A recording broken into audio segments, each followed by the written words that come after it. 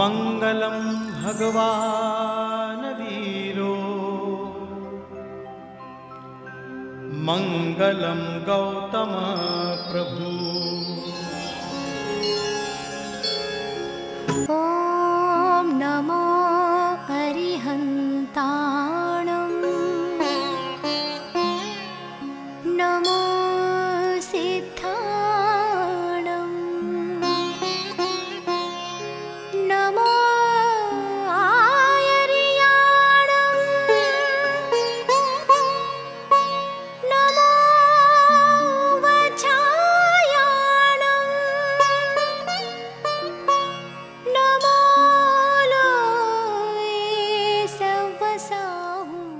Jai Jinendra and welcome to Mangalam. Today we present to you a very unique program. We will have a lecture by Tarun Sagarji Maharaj. Then we will have a very good performance by our youngsters. We'll present to you global Jain news. And in the end, we'll present to you a Jain thought to ponder upon.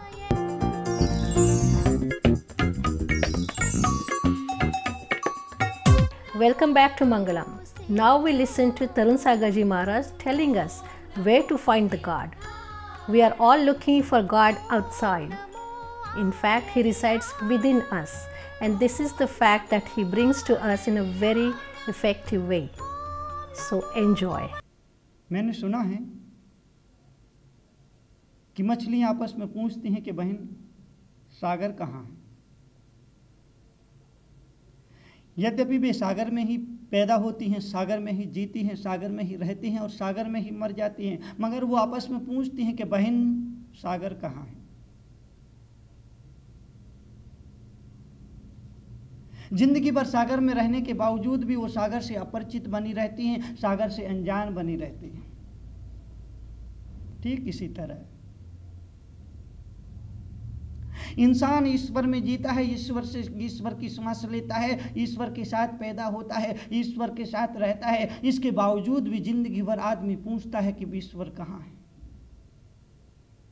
परमात्मा कहाँ है? प्रभु कहाँ है? जो जिसके जितने निकट होता है आदमी, उससे हमेशा ही अनजान बना रहता है, बेखबर बना रहता है। आँखें सारी दुनिया को देखती है, लेकिन आँखें अपने आप को नहीं देख पाती। आँखों को देखने के लिए एक दर्पण की ज़रूरत होती है, एक शीशे की ज़रूरत होती है। यद्यपि आँखें आदमी के एकदम निकट है, एकदम करीब है, बिल्कुल करीब है। इसी तरह से परमात्मा आदमी के निकट है, एकदम करीब है, एकदम प्राणों से करीब है, प्राणों से भी करीब है। लेकिन आदमी ज़िंदगी भर उस परमात्मा से, उस प्रभु से, उससे अजनबी बना रहता है, उससे अनजान बना रहता है, उससे बेखबर बना रहता है।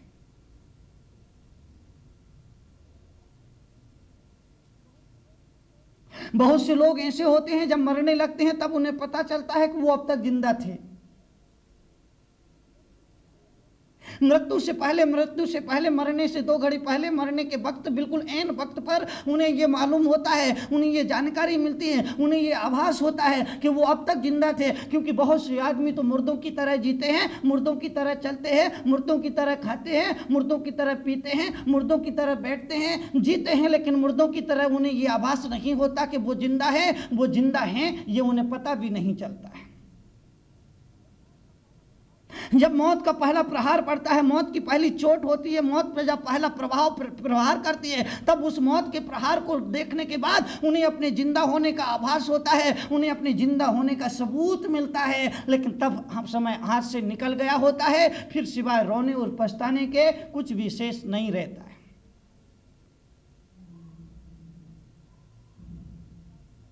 तो मछलियाँ सागर में रहकर के सागर के मूल्य को कभी नहीं समझ सकती। पानी के मूल्य को नहीं समझती है, मछली पानी के महत्व को नहीं आंक पाती है मछली। लेकिन जब कोई मछुआरा उस मछली को पकड़ता है, पकड़ करके तप्त गर्म रेत पर फेंक देता है और जब वो मछली छटपटाती है, तब पहली बार उसे ये विदित होता है, ये मालूम पड़ता है कि वो अब तक जहाँ थी वो सागर था, अब तक जहाँ थी वो जीवन था, अब तक जहाँ थी वो उस जीवन की धड़कन थी, उस जीवन की किरण थी। ठीक इसी तरह से। आदमी ज़िंदगी भर परमात्मा के साथ रहता है, परमात्मा में रहता है, लेकिन उसका मूल्य कभी नहीं आंक पाता है।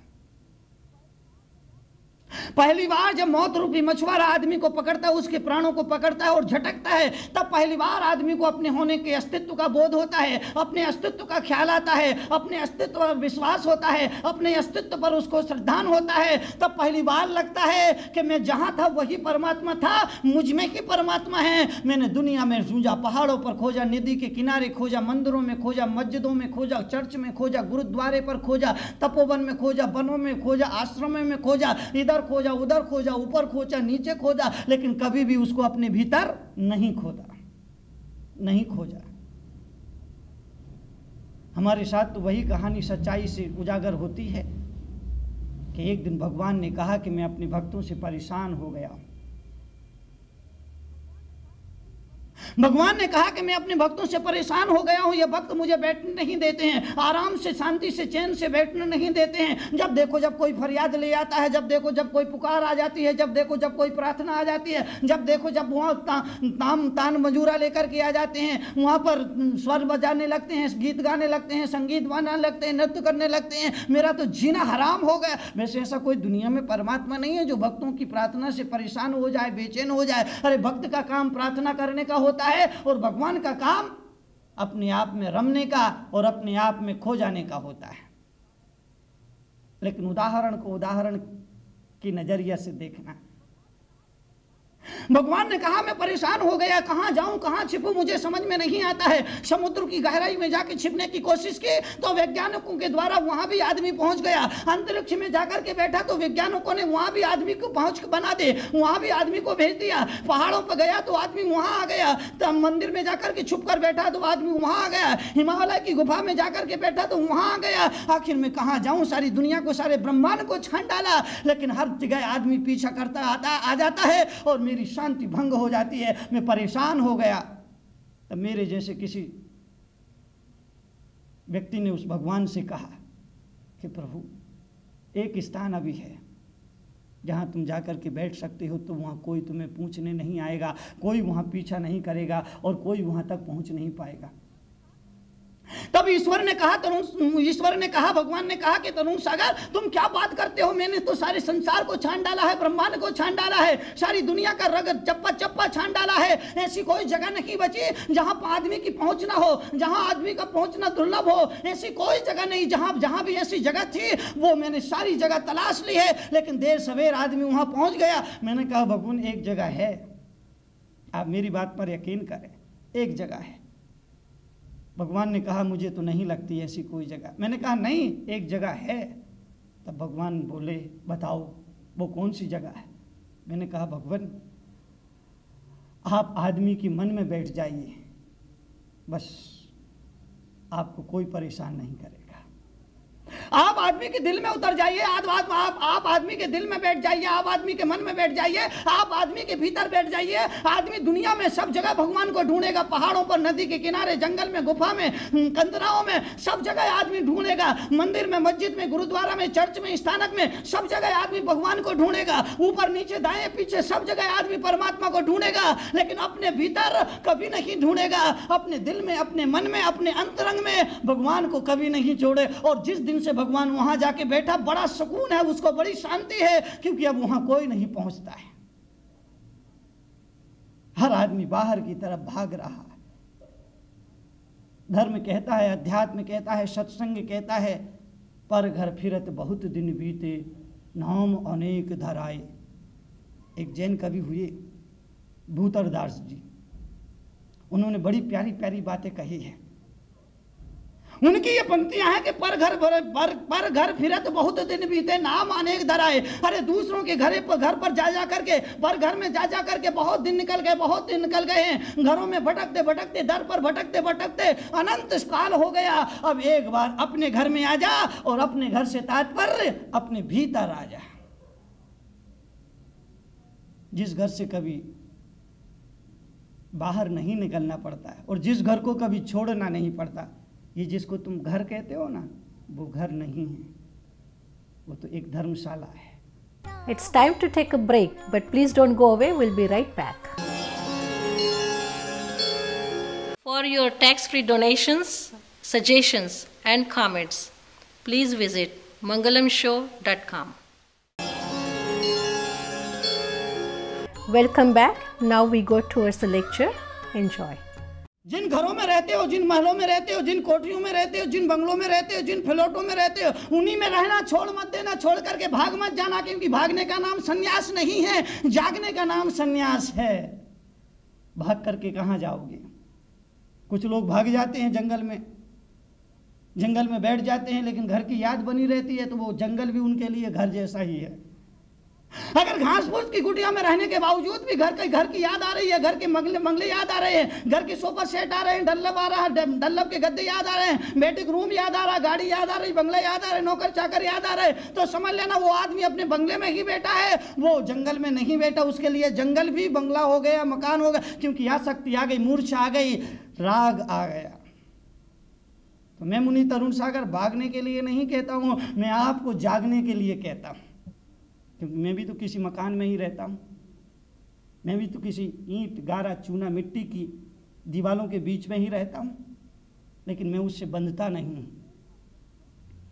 जब छोड़ता हूँ तो छोड़ देने के वक्त मुझे राग नहीं होता है, मुझे दुख नहीं होता है, मुझे पीड़ा नहीं होती है। मैं विहार करता हूँ पीछे और कमुंड उठाता हूँ और एक मिनट में उस कमरे को, उस मकान को, उस पिंगले, उस बंगले को, उस कोठी से बाहर निकल जाते हूँ और मुड़ के नहीं देखता हूँ और दोबारा मुझे उसकी याद भी नहीं आती है। क्यों? क्योंकि मेरा उससे अटैचमेंट नहीं, राग नहीं, संबंध नहीं, लगाव नहीं, इसलिए पकड़ता नहीं है कोई संत। इसलिए उस महल में रहने के बाद भी वो अलिप्त बना रहता है अनासक्त बना रहता है, वो मुक्त योगी होकर के जीता है। भागने की ज़रूरत नहीं है। भाग कर कहाँ जाओगे?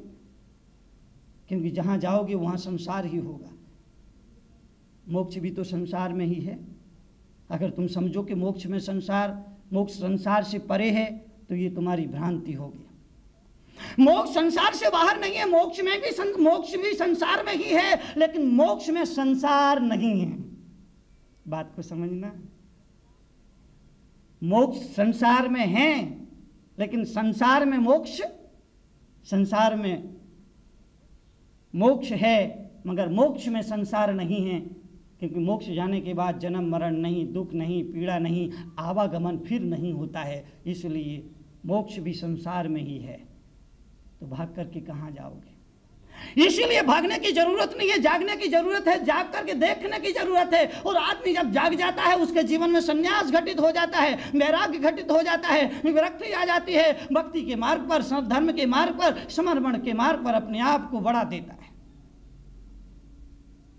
तो एक बार जाग करके देखो इन घरों को घरों की हैसियत से नहीं, सोचो ये धर्मशाला है, रैन बसेरा है, रात्रि का विश्राम है, सुबह चल देना है। कोई कहीं जाएगा, कोई कहीं जाएगा। सबके ठिकाने अलग अलग होंगे, सबके रास्ते अलग अलग होंगे। चंद दिनों की मेहमान है, नदी नाव सहयोग है। जैसे एक किनारे पर बहुत से लोग इधर उधर से आ जाते हैं और एक नाव पर बैठते हैं, नाव पर बैठते हैं, आपस में बातचीत होते हैं, एक दूसरे से परिचय लिया जाता है, एक दूसरे को परिचय दिया जाता है, नाम, पता, गाँव, ठिकाना पूछा जाता है, लेकिन नाव जब उस किनारे पर पहुँचती है, सब अलग अलग रास्तों पर चल देते हैं अलग अलग मंजिलों को चल देते हैं, फिर दोबारा कोई परिचय नहीं होता है अलग अलग दिशाएँ हो जाती है, फिर मुलाकात नदी नाव संयोग है।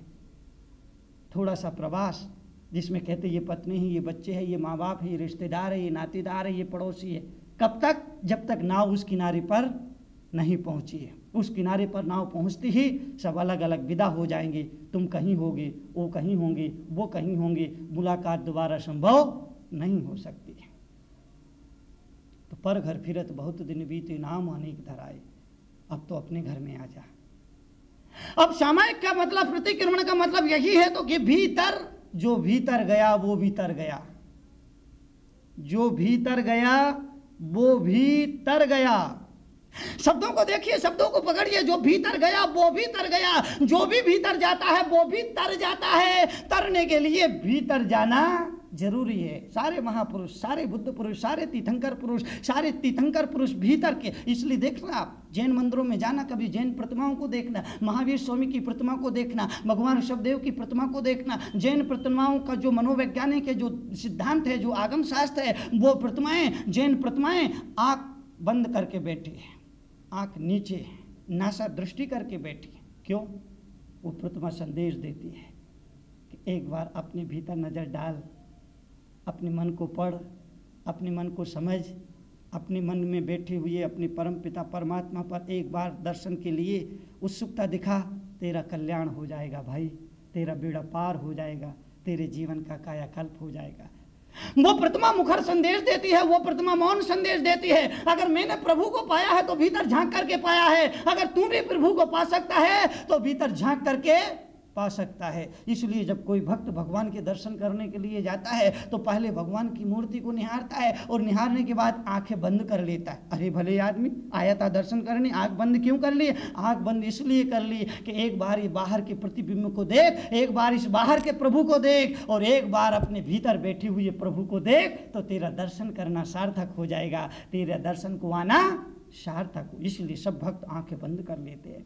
क्योंकि भक्ति का जो मार्ग है, वो आँख समर्पण का जो मार्ग है, वो आँख बंद करके प्रभु मिलता है, आँख बंद करके और संसार मिलता है, आँख खोल करके। आँख खोल करके देखोगे तो संसार बढ़ता जाएगा, आँख बंद करके बैठोगे तो संसार घटता जाएगा। इसलिए जब कोई ध्यान करने बैठता ना तो उसके पास जितने भी लोग बैठे रहते, वो कहते, चलो भैया चलो भैया चलो भैया, अभी आदमी अपने काम का नहीं रहा, अब चलो यहाँ से भाग लो। वो अकेला बचता है, सब लोग उसको छोड़ के चले जाते हैं। जब वो अकेला बचता है तो उसके साथ भगवान हो जाता है।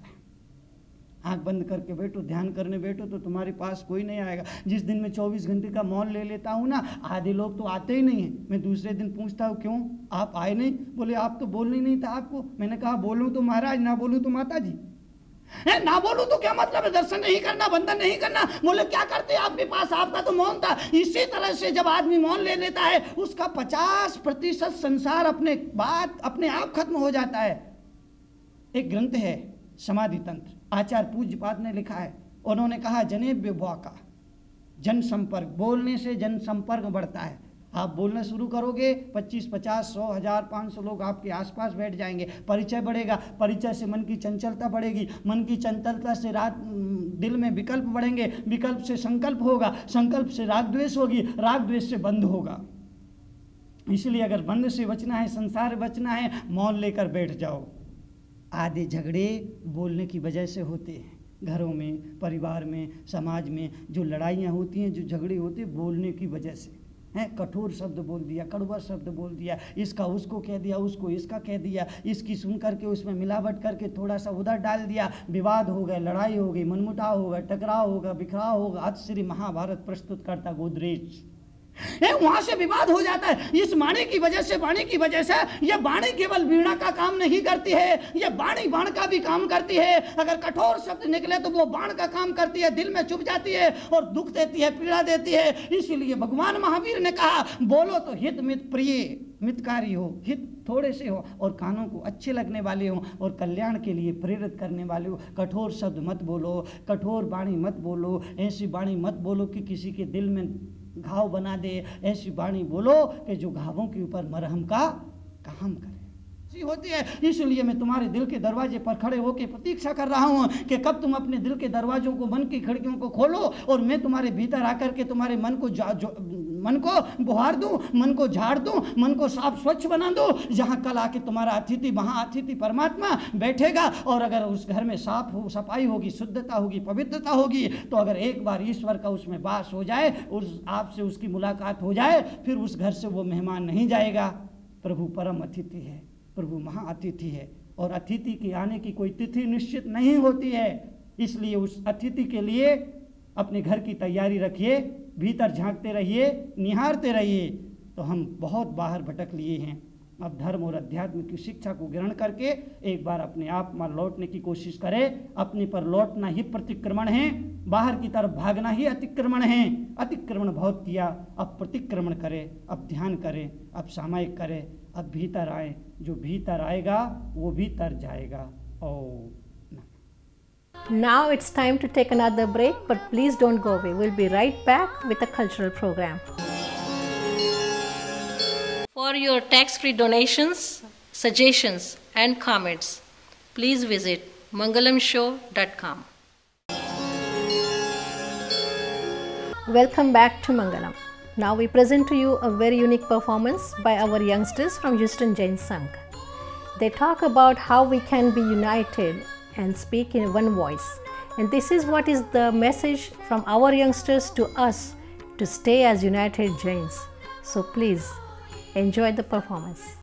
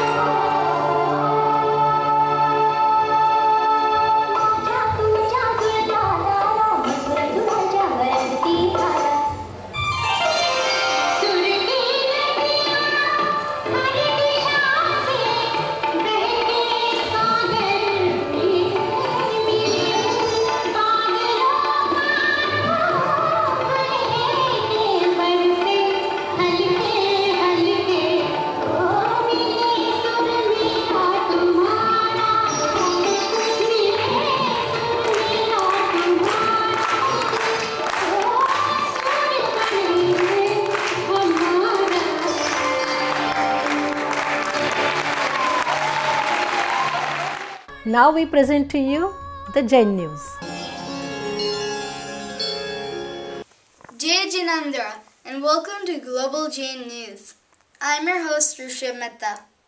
More than 15,000 people in the city of Mumbai participated in a signature campaign against animal slaughter at the biggest slaughterhouse of Deonar on the occasion of the 2610th birth anniversary of Lord Mahavir. Mr. Shah, president of the Jain Social Group of Pune, said that we have launched a protest against the renovation of the slaughterhouse where modern machinery will be installed. At present, more than 300 animals are slaughtered every day at this facility and after installing modern machines, this number will increase up to 15,000. Hundreds of devotees lined up with their own bricks to lay the foundation for the new Adinath Jain temple being built in Brampton, Canada. This will be the first Jain temple of its kind in Canada, with the idol of Bhagwan Adinath. An elder's home and a hospital are to form part of the complex. The groundbreaking documentary, Forks Over Knives, is helping audiences take a scientific journey on why a whole foods plant based diet might be the only medicine we need. Forks Over Knives, Wendell's first feature length documentary, explores a powerful correlation between diet and disease, and the conclusion is hard to dispute. The film focuses on groundbreaking research on many. We are raised to revere milk as nature's perfect food. But research discovers alarming facts about its relation to disease, along with other animal products, through re- years of research concluding that animal product based diet is killing us. This is all we have for today's J News. We will be back soon. Until then, I'm Rusha Mehta, Jay Janandar. Now, please listen to the Jain thought. Our youngster is going to tell you something. Jai Janendra, my name is Anurag. This week's theme is on my t shirt.